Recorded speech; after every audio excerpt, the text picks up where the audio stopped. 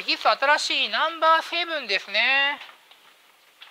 ではテキストめくって16ページですね。セクションは07の02高麗と立朝鮮古来の建国は907を代用する、まあ、この辺の国々っていうのは大体907を代用すればいい。唐が滅亡する前後に滅んでと。唐が滅亡する前後に新しい勢力が生まれてその新しい勢力が高麗。伊作に作ろう李成慶によって滅ぼされる。都ケソンでこれ現在北朝鮮内部にあるんですが韓国の工場なんですよね。まあ、北朝鮮と韓国の友好の証ケソン工業団地だったんですが、まあ、近年は関係が悪化してですねケソンがあまり回ってません。古来の建国者王権さん白木を滅ぼしと。で高麗は高国のような国になりたいなと考えているんですが実際はですね宋梁金元と中国の諸勢力に服属していきます。武闘派の高句麗に憧れた高麗なんですが全然高麗自体は武闘派ではないです。高麗版大蔵経モンゴル軍が攻めてきた際に経典を大量に掘ってお経を唱えて撃退しようと。だいぶちょっとやり方違うんじゃねえかなと思いますけど少々119ページ左側に高麗版大蔵経はドヤ顔で持ってる坊主がいますね。経典を木版印刷その君らがやりましたよね。版画ですよね。そんな感じで一時一時彫っていくわけ。でもちろん例えば「ヘクション」って言ってこう彫り間違えああここ彫っちゃったってなったらもう全部板ごとやり直しです。でまあ紙を置いて、えー、圧力かけて印刷をしていきます。でここでもちょっとこの高麗版大蔵経から金属活字からハングルまで行くんですがまあ一旦木版印刷で彫ったものっていうのはそれ以外に応用ができないわけですよ。119ページ左側のドヤ顔で木版印刷持ってますけどそれは一旦彫ったら死ぬわけ。他には使えないから。でどういうふうになったかというと後にまあこれ大蔵経ね。例えばあまあえっ、ー、と箱があって箱の中に例えばコロナって入れるじゃん。っていうまあサイコロみたいなものローっていうサイコロみたいなものを作ってで、えー、ここにインクのせて紙を置いてバンバン印刷していくんだけどこの弧を違う箱の中に入れてこうロースとかでも使えるわけよ。でこれ「コ」と「ロー」何度も何度も使っていくわけよ。でこういったものをはいどうぞ活字って言います。これ死んでないよと何度も何度も使えるよと。でもサイコロみたいなもの最初、えー、木で作ったりとか粘土で作ったんだけどこれ耐久性に問題あるわけじゃん。何度も何度も作るから。だゆえにテキスト1下の方。最終的には同活字のようになります。え先生おかしい。高麗版大蔵記のとこに金属活字世界最後と書いてますよ。これはね嘘です。嘘ですって言うとあれだけど朝鮮の人々は世界最高の活字はねこの高麗版大蔵記を作る過程で苦戦してから、えー、そこでもう世界最古の金属活字が生まれたんだって言ってるわけよ。で世界中から「証拠は?」って言われて「ない」って答えでそれが教科書では「え材質不明」という表現します。で朝鮮はバリバリ文化レベルが高いんですよ。人口2,000万人以上のいる国でインターネットの普及が一番早い。現在も。韓国ですもんね。絶対に。あの文字の消費量がすごく多いんですよ。でこれはやはり高蘭版高麗版大蔵経からの流れはあるでしょうね。でこの印刷に非常に適したものがハングルです。ハングルというのはこの文字数が少ないのでこの「コロナ」とか「コロス」っていうのがまあそこ二十何個作れればいいわけですよ。はい活字印刷に適した文字っていうのはハングルともう一個は？アルファベットね。日本の文字は適さないですねだって漢字ひらがなたくさんありますカタカナとか。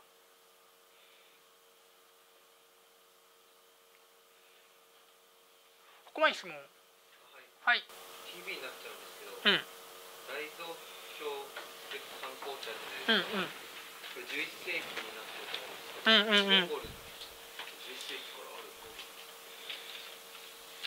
あーえっとね高麗版大蔵経の一番最初は11世紀でその後も何度も何度も作ってて一番メジャーなものがモンゴルが来た時ですっていう。OK はい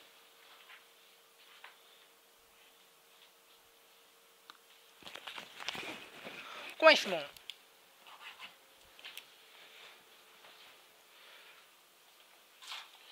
ちなみに、えー、この活字に適したハングルっていうのはよく漢字で書かせます。訓民制これどういう意味かというと愚かな民に教えてやると。訓っていうのは教えるという意味です。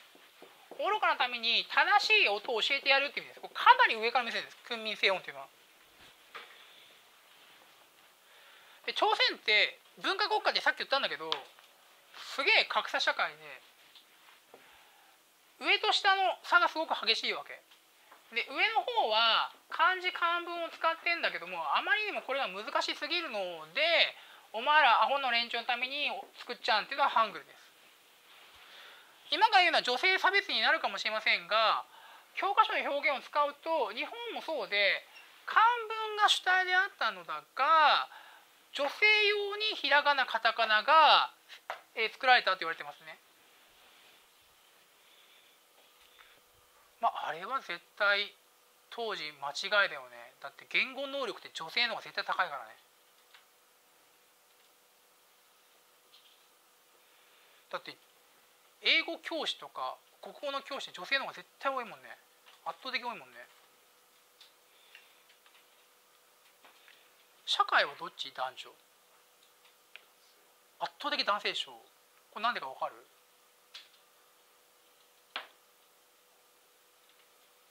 これなんで社会の先生は男性が多いかは説明できる？言語能力は女性高いんだけども何々に関しては男性が高い場合が多い。わかんない。論理あの論理論論理的に物事を話すのは男性の方が多いんですよ。男性の方が強い場合が多いんですよ。女の子でねその男社会で出世したいって思うのであればあの論理力は磨いた方がいいですよ。論理力磨けっていうのはもう必ず湯気先生の授業を受けてくださいってこと。何々があったから何々が起きて何々があったから何々ですよねっていうちゃんと順番で言えるってこと。因果関係を説明できるってこと。話元に戻してえー、あこれですそうだ、えー、これで、えー、訓民西音説明終了。で同活字訓民西音に関しては同活字の時に関しては、えー、これは証拠あります。13世紀前半は、えー、ない、えー、証拠ないよと。で次に、えー、ハングルが1446年という年号覚えなくていいんだけども、まあ、大仁の乱ぐらいこれかなり新しい文字ね。一番新しい文字は何かっていう出題は難しいんだけどもメジャーな文字で一番新しいのはもうハングルです。世界で最も合理的な文字。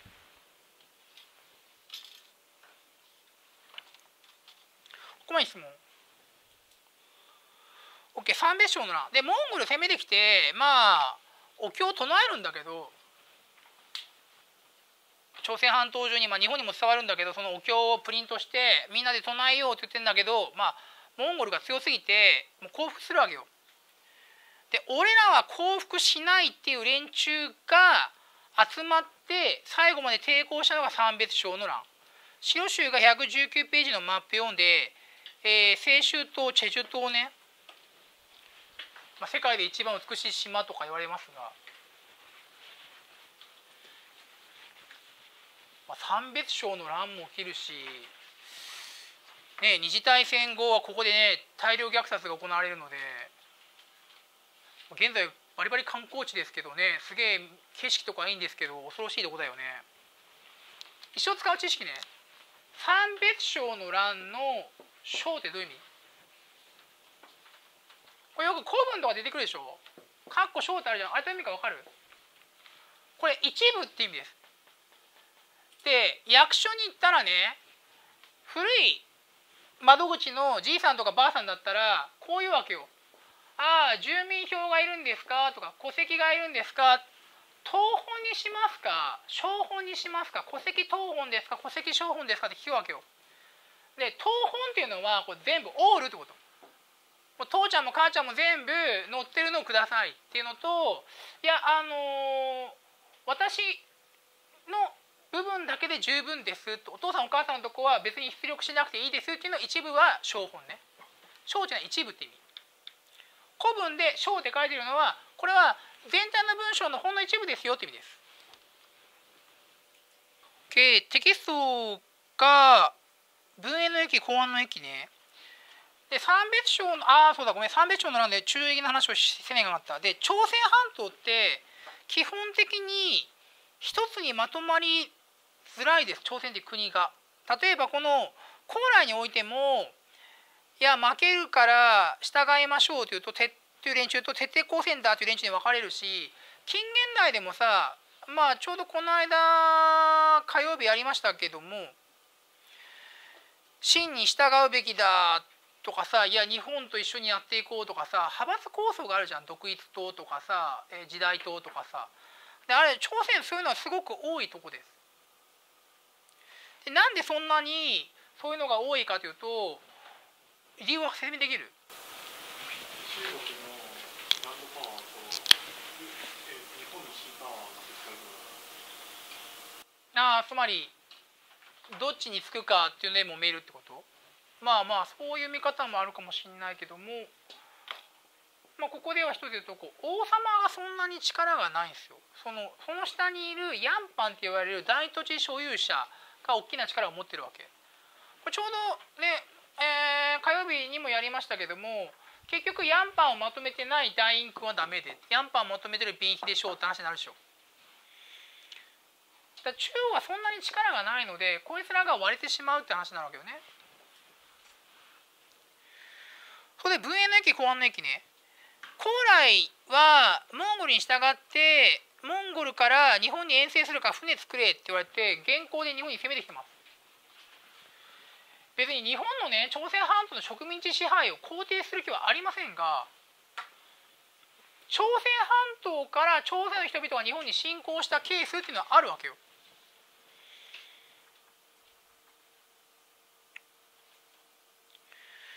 大和朝廷騎馬民族説を保留とし確実な現在上がっている歴史のみで処理すると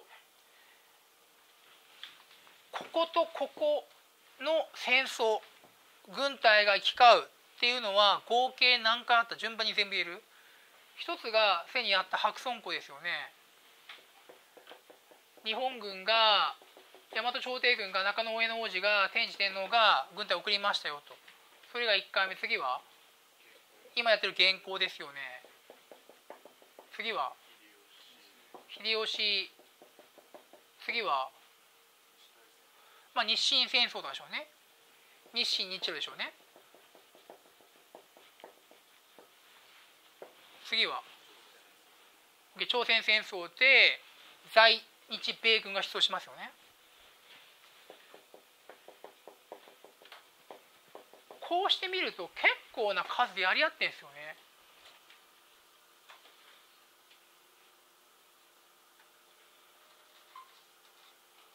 ここまで質問。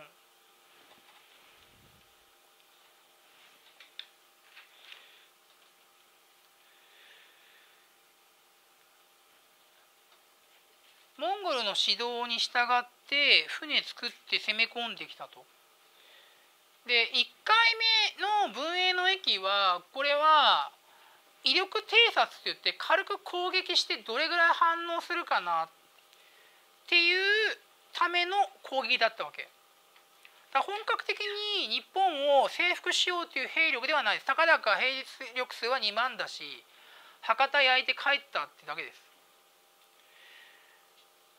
で本格的に攻め込んだのが公安の駅で先生おかしいと。威力偵察してから7年経ってますよと。7年も経ったら日本側もやべえって話になって防御固めるでしょ。固める。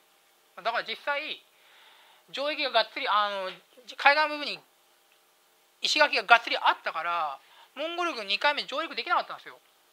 じゃあ問題。なんで7年かかった？そうそう南宋が結構最後粘り強く戦ったわけよね。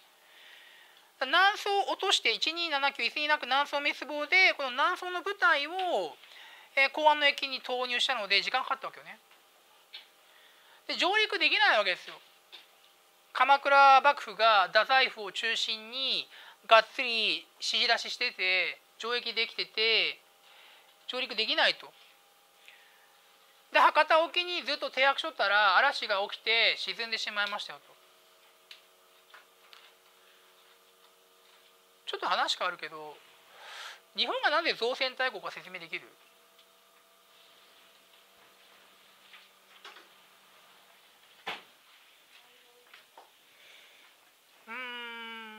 朝鮮半島だって周り海じゃね？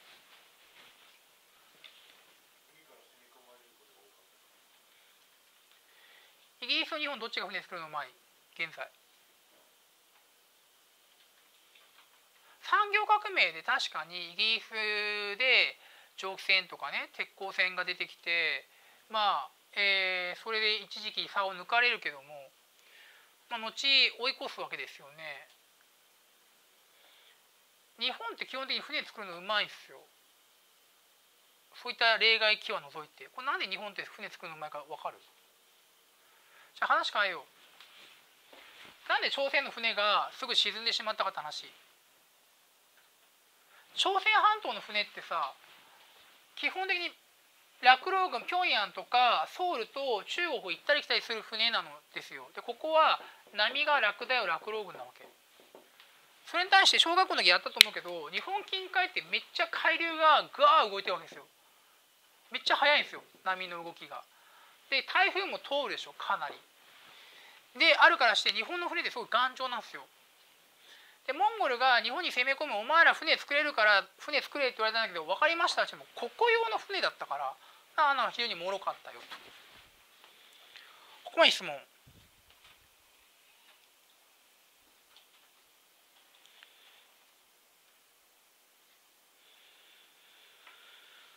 次行こう。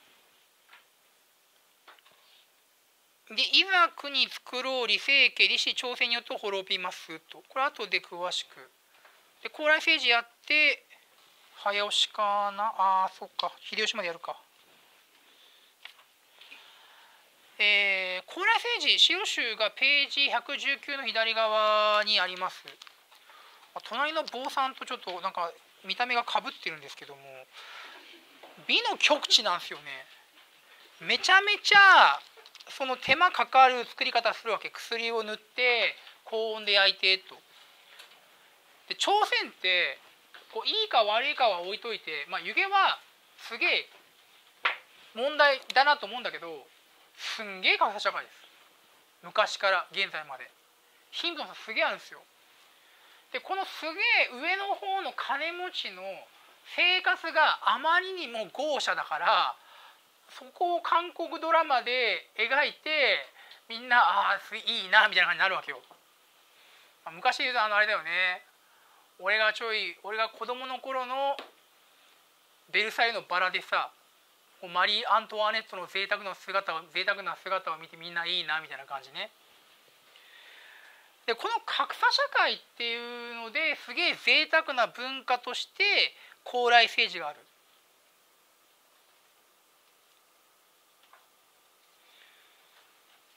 ちょっと話変わるけど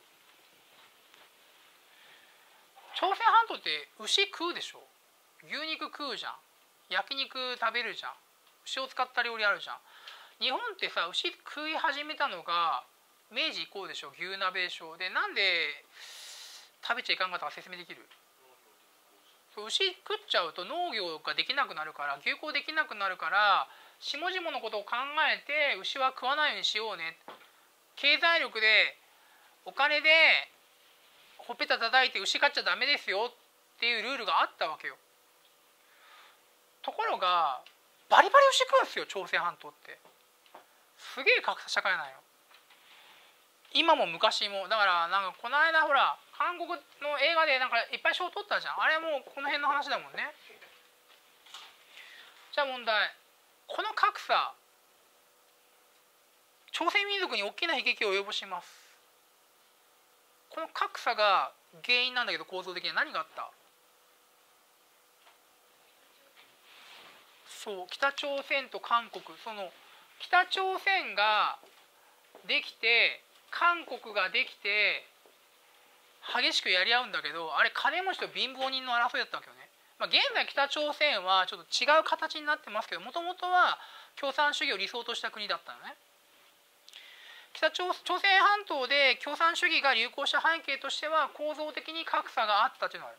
またこれは来週の木曜日じゃねえ来週の火曜日になりますけどもこの格差をさらに増長させたのが大日本帝国やね。ここまで質問なんかねうちの嫁さんが韓国ドラマとか見てるけどなんかねがっつり見ないけどなんか韓国ドラマの財閥の娘のセレブ感とかすごいもんね。うん。格差って感じだもんね。ここまで質問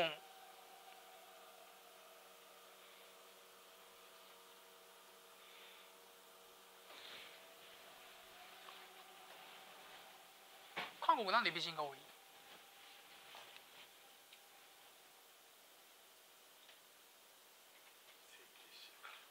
おまあ整形するなんなんで美人が重要かっていう。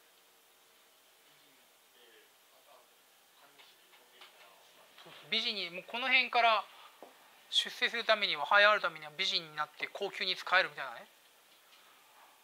でまた美人を必要としとるわけよね。朝鮮半島から朝貢でその女性も送る場合があるから美人っていうのはすげえなんだろう大事っていうね朝鮮半島では。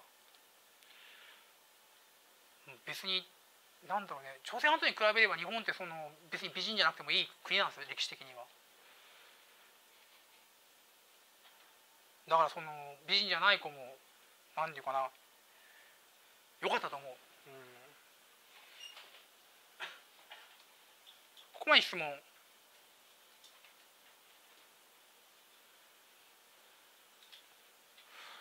大陸は肉体改造するよね。まあ転足とかするじゃん。日本って肉体改造しないもんね。肉体改造しないとこってあと日本とどれどこしかないか分かる？肉体改造って別にライズアップとかじゃないんですよ。あの 転足とかあの宦官とかの話ですよ。もう切っちゃうとか取っちゃうとか話レベルね。ヨーロッパはそうヨーロッパと日本が肉体改造しない。だからその整形っていうのに対してはそのうちら抵抗感あるのはそのなんだろう。これ世界全体で見ると結構レアですよ。だって男性性器切っちゃうところが多いし男性性器の皮を取る包茎手術、えーと、受験世界史でいうと何だったっけ？やべえ出てこない。ユダヤ人の子供の時の儀式は？ユダヤ人生まれて子供すぐほらすぐじゃないけど包茎手術するじゃん。何だっけ？やべ出てこない。選択肢出てくんだけど。やべ出てこない。何だっけ？皮切っちゃうやつやだよ。やべなん出てこない？ああカツレカツレカツレカツレカツレとか。あの日本ってそのなんだろう。すごく体に刃物を入れることを嫌うとこなんよね。これ理由わかんないんだよねヨーロッパはわかるじゃん。基本的じゃん。ヨーロッパなんで。ヨーロッパキリスト教だから魂がまた戻るでしょう。そのために、えー、刃物入れない方がいいよねって話になるよね。ここまで質問。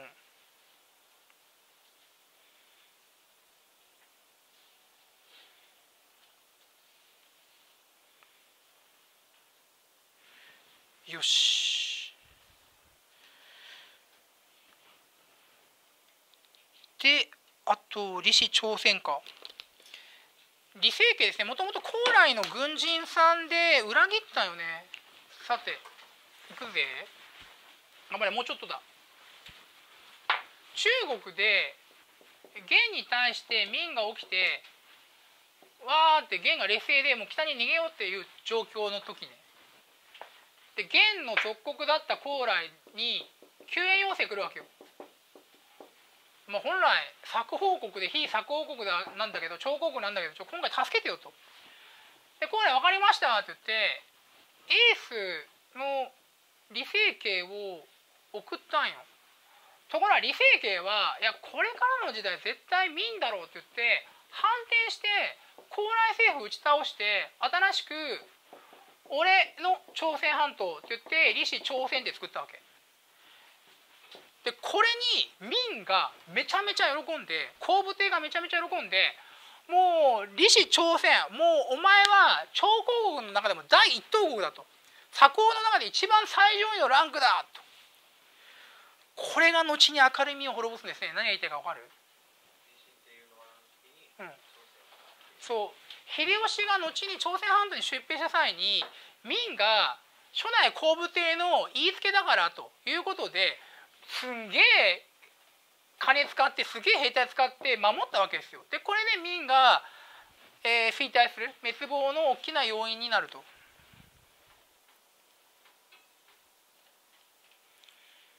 ここまで質問。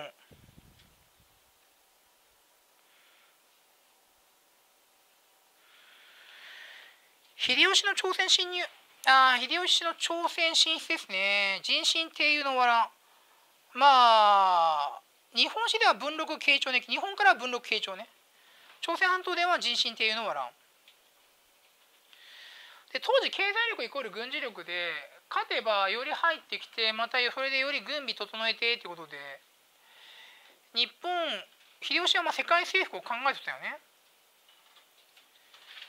そんで日本側の傭兵によって朝鮮の民間に多数死者、まあ、傭兵が多用されて大量虐殺が起きたとか略奪が展開された事例としてどういうのがある？秀吉の朝鮮出兵以外に。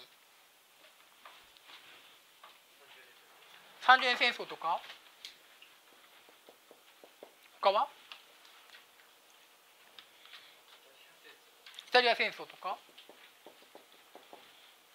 他は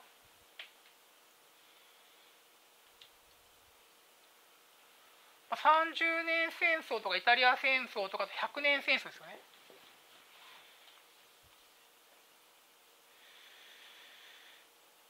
で民間人に多数死者が出た理由の一つとしてシステムの暴走があったシステムの暴走で何かというとねちょっと話変わるけど侍が長い刀と短い刀持ってんじゃん。なんで2つ持ってんの？違う。だったら長いの2つ持てばいい、まあ、実際長いの2つ持って戦ってたあの守り側は基本的にバーって敵が来る時に例えば城の中で戦う時とかは刀をそこら辺に刺しておいて。で、まあ、人大体にもう1回2回切ったら刃物使えなくなるから油もついて刃こぼれもして人間切ってってなるんだけども、えー、短い刀は戦闘には不向きやね。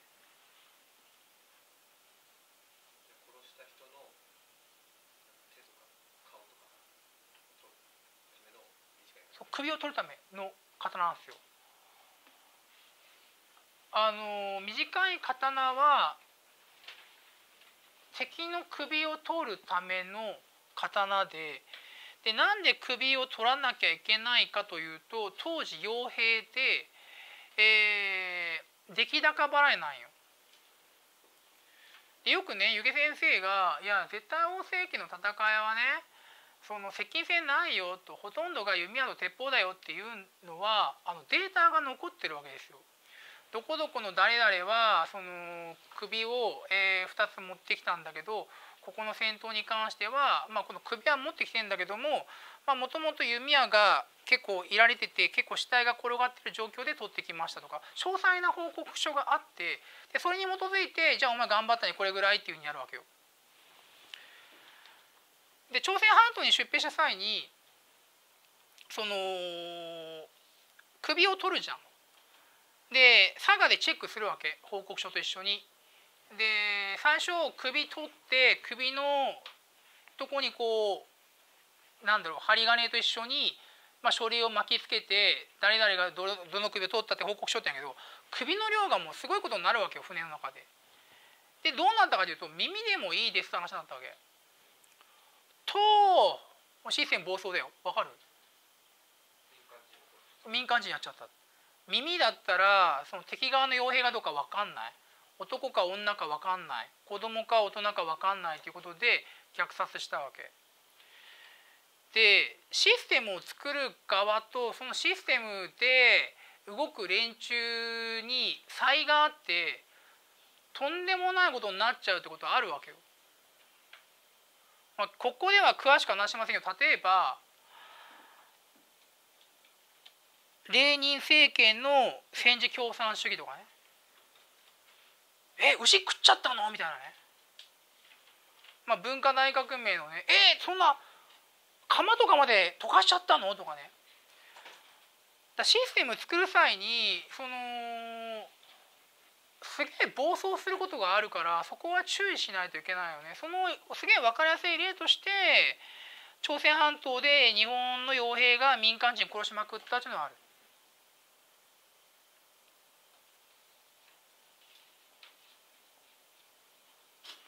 ここまで質問。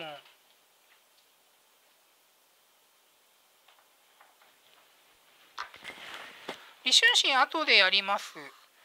で日本が朝鮮半島侵攻した結果民が朝鮮半島への支援に傾注した結果他の地域の監視がおろそかになって、えー、TV 一番最後18ヌルハチの後金シーンが建国されこいつが最終的にはほぼ民を滅ぼしてしまうと、まあ、正式にはね理事制の乱で滅びるんですが。ここまで質問。収集が119ページ。テキストが、えー、1816の李春心の活躍からですね。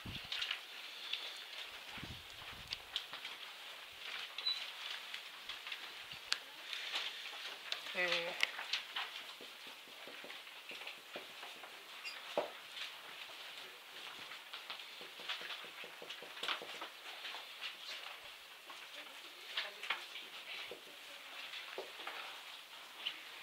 アンパンマンは強力な、えー、暴力を持ってます、まあ、アンパンチアンキックご存知です。ご存知と思います。でバイキンマンはどう考えてもそれにかそれに勝てないのでバイキンマンどうする？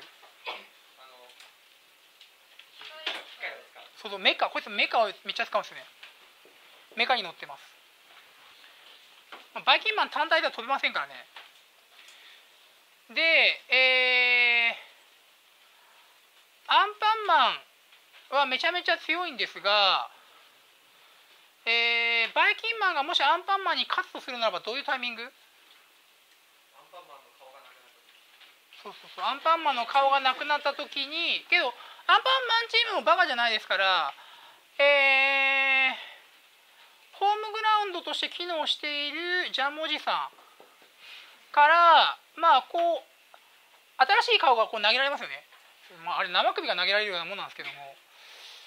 でこれをまあバイキンマンがこう狙うインターセプトするってこれが多分唯一の勝機なんですよね。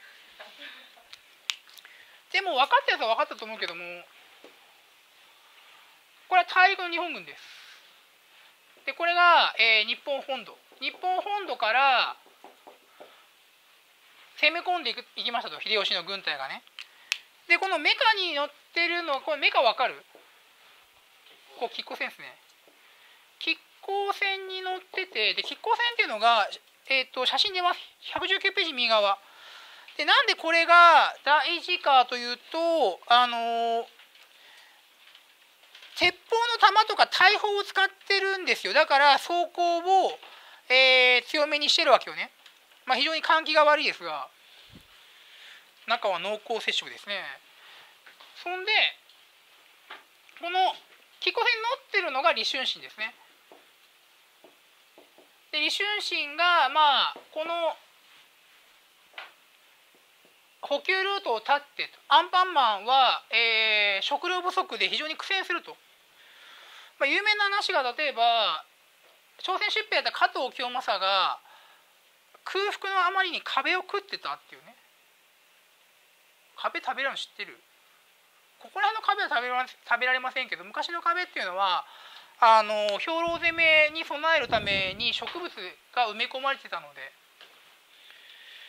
で問題、えー、日本が政界権を失って大陸の軍隊と日本本土が孤立したケースっていうのはこれ以外に何がある？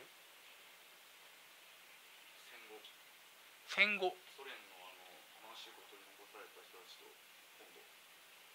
まあまあ太平洋戦争ですよね。太平洋戦争で日本は、えー、大陸に大きな軍隊を送ってましたけどもう戦争末期になるとこの辺全部アメリカに取られてしまいますもんね。政界権制空権。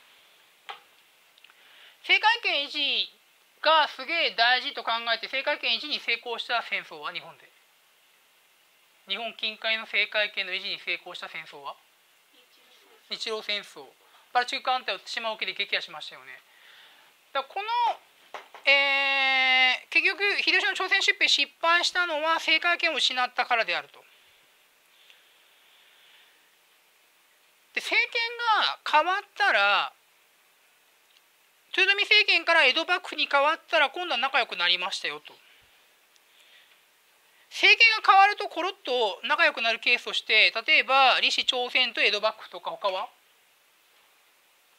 政権が変わったらめっちゃドンパしてたのにこれと仲良くなる例えば第一次世界大戦でドイツロシアで戦争してたんだけど両方ともドイツ革命ロシア革命で、えー、バイマール政府、えー、レーニン政権に変わったら仲良くなったりとかね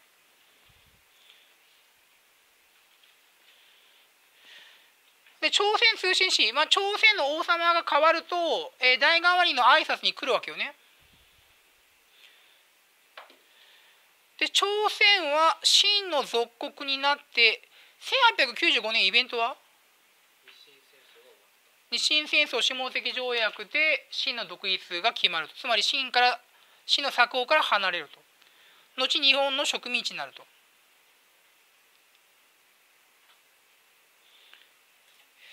ヤンパンの発展朱子学を漢学科朱子学を漢学科から説明すると世界で一番お嫁さんにしたい国の女性は？と言われているのは？なんで？もう一個は、まあ、日本人っていう説もあるけどなんで旦那に対して従順なの？出資学が強い。日本とか朝鮮半島っていうのは出資学が強くて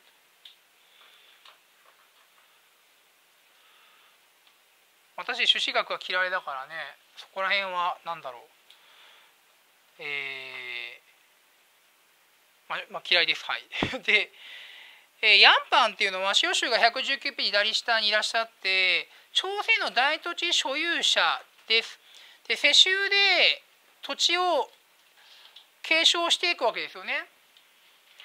で彼らの発言力がとても大きかったよと。119位題した朝鮮の伝統的儒教社会に君臨と。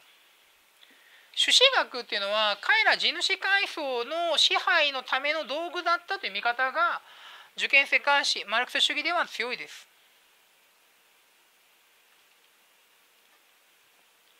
ここは質問。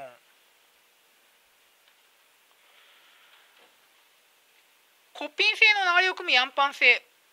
えー、コピン性っていうのはすでにやりましたが資料集が118ページの右下新羅の時代の骨品性ね、えー、新しい骨で覚えよう。で高麗と朝鮮の時代はヤンパンですね。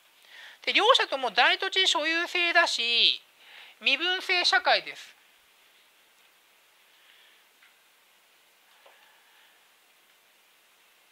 身分制社会。でなかなか階級の流動性がないんですよ。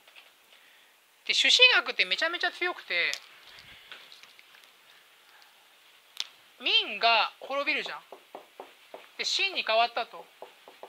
で中華がなくなったと。でこの中華を継承しているのは我々李氏朝鮮だっていうのが小中華思想です。今年の東大でやつね。小中華思想です。我々こそが中華を継承していると。でこの中華っていうのは具体的には朱子学の解の別と大義名分論で上が言うこと絶対と。ということで朝鮮の格差社会を肯定するような朱子学が強化されてと。日本で朱子学を本格的に導入した政治家は政治権力者は？徳川家康。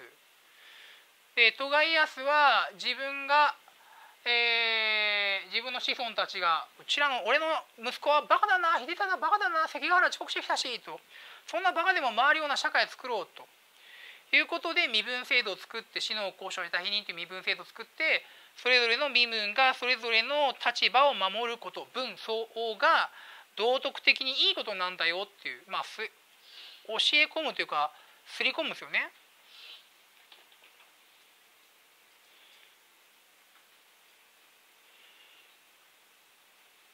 ここ質問